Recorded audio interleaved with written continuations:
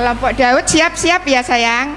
Kita saksikan bersama-sama dan kita simak bacaan surat Al-Humazah oleh anak-anak kelompok Daud. Salam.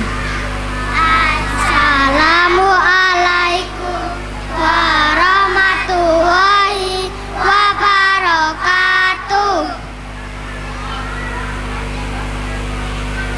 Wahid Isnain Salasa.